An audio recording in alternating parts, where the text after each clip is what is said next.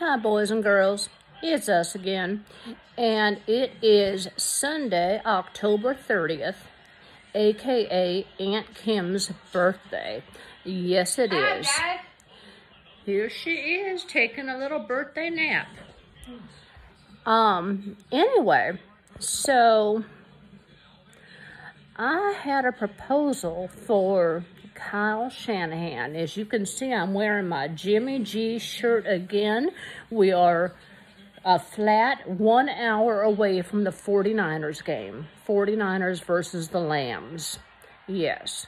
So, I was thinking that my son, Corey, would be an excellent addition to the 49ers team. Why? Because he's in his early 30s, number one. Number two, he works out every day. He's very strong. He bench presses like, I don't know, 300, 400 pounds. He's a bodybuilder, like a personal trainer and a police officer.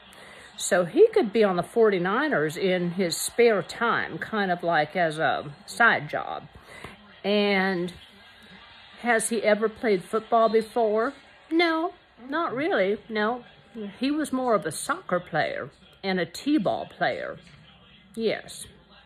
But he would be a great addition to the team because not only is he strong, but he's very handsome. So he would bring a lot of viewerage, a lot of sponsorship, lots of advertisements to your team. Oh, yes, yes. And I would be, as I've mentioned before, if I do say so myself, that I would be an excellent team mom. Aunt Kim and I would bring orange slices and juice boxes. Absolutely.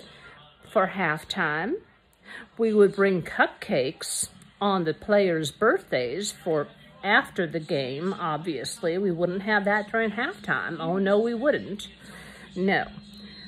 So I just propose that you reach out to either, you could reach out through me, uh, and I could get you in contact with Corey. yes, because he knows nothing about this.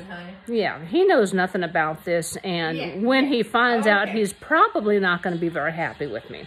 But anyway, so love you, bless you. Keep Corey in mind. I will take a little bit of the credit for it. Just a little bit, just a smidge. Remember, orange slices and juice boxes and cupcakes for players' birthdays. Yes, and decorated with oh, red my and red and gold frosting. Okay, bye. Yes. Okay. Anyway, love you, bless you. Win today. Bye, Felicia's.